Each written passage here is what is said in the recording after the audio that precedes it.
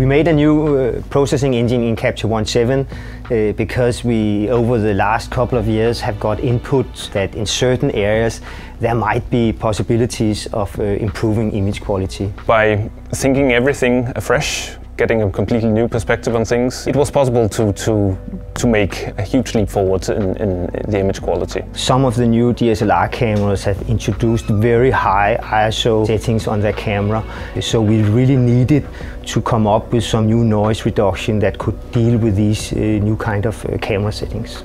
There's a lot of similarities between music reproduction and generating high quality digital images. It is very much striving for perfection and extracting the absolute maximum amount of detail or quality from your source material. A very big part of my work is to look at the customer feedback, the images they send us, and try to see what it is that they want to get out of the image and how we can then help them improve their images. The big challenges you face when you design a, a raw processing engine is to balance all of the compromises. So you may be focusing on one parameters that previously have caused issues for our customers and if you just focus on that parameter it's quite easy to fix that.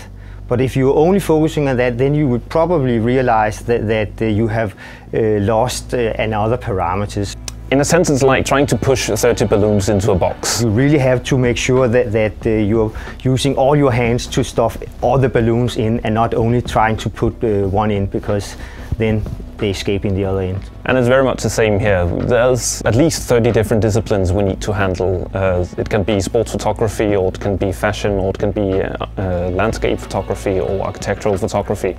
And they all have each their own criteria for what makes a good image. When you get Capture One 7 with a new processing engine, uh, we have the ability to actually open up and see the same image render it with the old engine and the new version 7 engine.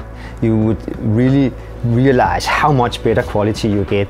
I think that most people will find that with Capture One 7 they will revisit and reprocess all of the uh, old photos. We was able to improve significant on, on a number of parameters. I'm very proud of what we got out of the version 7 engine.